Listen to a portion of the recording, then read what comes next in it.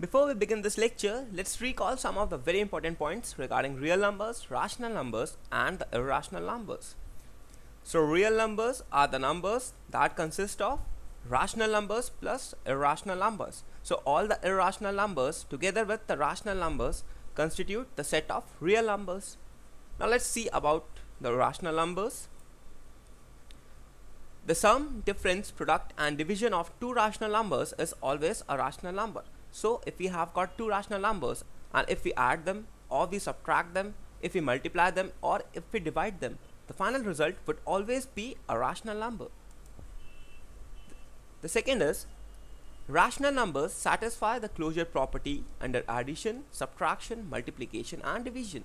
So rational numbers always satisfy the closure property under the operation of addition, subtraction, multiplication or division. Let's see some of the points about irrational numbers.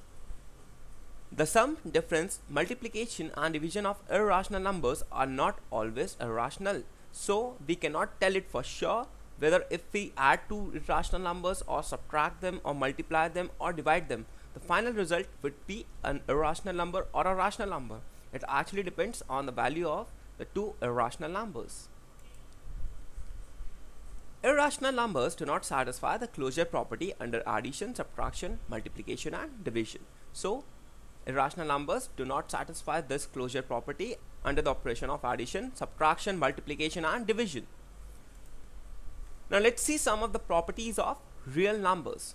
The first is commutative law and in that let's see the commutative law of addition.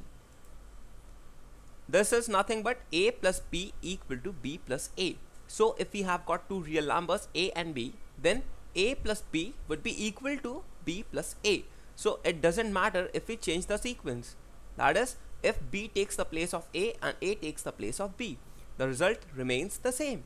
So this is known as commutative law of addition. For example, if we consider the case of 5 plus 1 by 2, your 5 is a real number and 1 by 2 is also a real number. So 5 plus 1 by 2 would be equal to 1 by 2 plus 5 and that's always true because if we add these two numbers we get the answer as 11 by 2 and if we add these two numbers we get the answer as 11 by 2 therefore commutative law of addition holds for real numbers. The next is commutative law of multiplication. So if we have got two real numbers a and b then a into b would be equal to b into a. Again if we change the order that is b takes the place of a and a takes the place of b then the product remains the same for example, if we consider a equal to be 5 and b equal to 1 by 2, then 5 into 1 by 2 would be equal to 1 by 2 into 5. And this is always true because both these yield the same result that is 5 by 2. Therefore, the commutative law of multiplication holds for real numbers. Now let's see about the associative law. So in that again we have the addition law and it says that a plus b plus c is equal to a plus bracket of b plus c.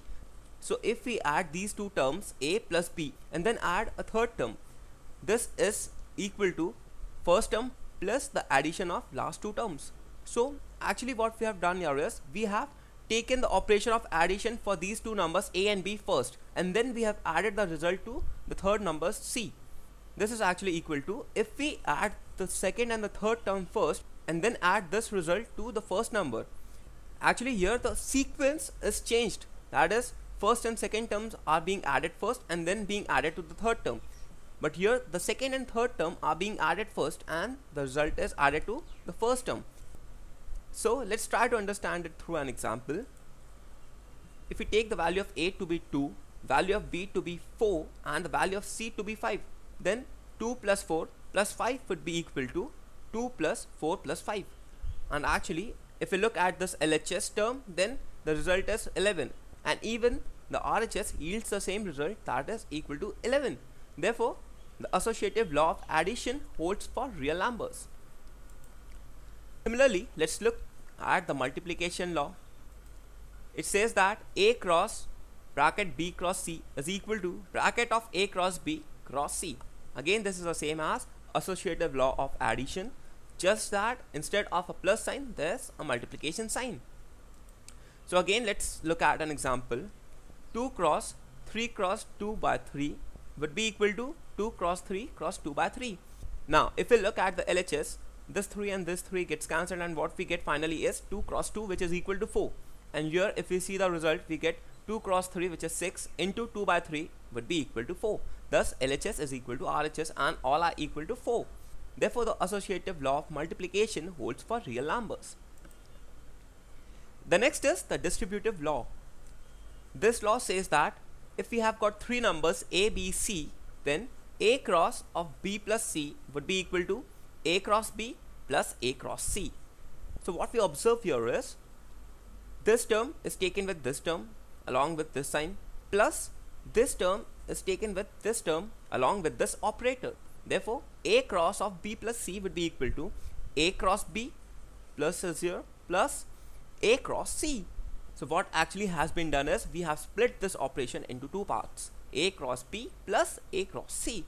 So again let's look at an example.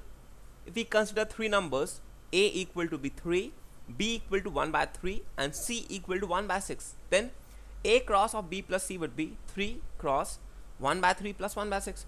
Similarly this side would be equal to 3 cross 1 by 3 as b is equal to 1 by 3 plus 3 cross 1 by 6 now here if we see 1 by 3 plus 1 by 6 is equal to 1 by 2. So what we get here is 3 into 1 by 2 and from here 3 and 3 gets cancelled we get 1 and here what we get is 1 by 2.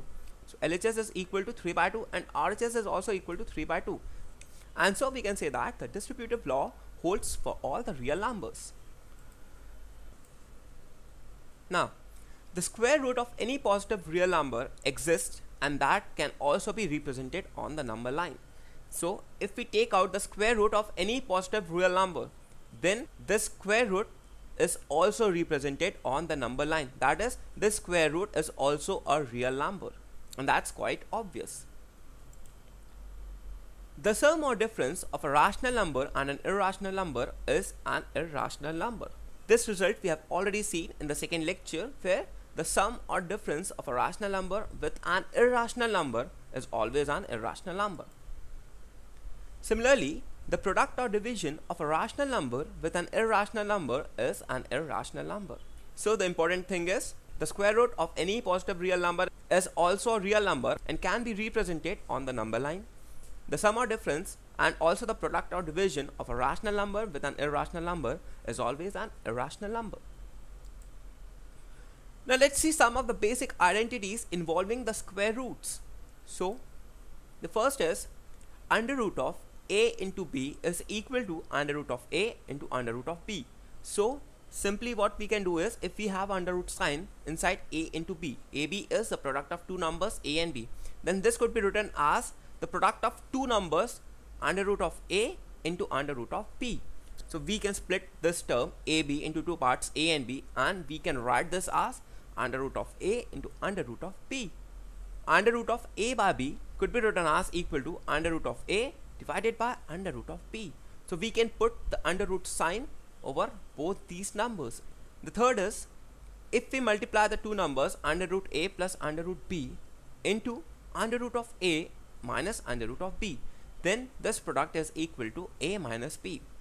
Here what we can do is we can use the formula that is a square minus b square is equal to a minus b into a plus b and when we apply this formula we get the result as a minus b. The fourth is under root of a plus under root of b whole square is equal to a plus b plus 2 times under root of ab. Now why is this so? If we expand this term we get under root of a whole square plus under root of b whole square plus 2 times under root of a into under root of b. So from that we get the result as a plus b plus 2 times under root of ab. The next is under root of a plus under root of b into under root of c plus under root of t is equal to under root of ac plus under root of ad plus under root of bc plus under root of bd. This we get simply when we multiply these two terms. And the sixth property is a plus under root of b into a minus under root of b is equal to a square minus b. Again here what we have done is we have used the formula that a square minus b square is equal to a minus b into a plus b. So when we apply this, we directly get this result that is a square minus b. So these were some of the very basic identities involving the square roots. So let's try to solve an example. Check whether 4 root 5 comma 6 pi root 5 comma root 3 plus 19 comma pi minus 1 are irrational numbers or not. So in this problem what we have to do is we have been given four numbers 4 root 5 6 pi root 5 root 3 plus 19 pi minus 1 and we have to check whether these numbers are irrational numbers or they are rational numbers. So let's check out the solution of this. We know that root 5 is equal to 2.236 root 3 is equal to 1.732 and pi is equal to 3.1415 and so on. These are non-terminating and non-recurring decimals. Now let's check out the value of the first number that is 4 root 5. Now 4 root 5 is equal to 4 into the value of this is 2.236. So we use this value to get the answer as 8.944 and so on.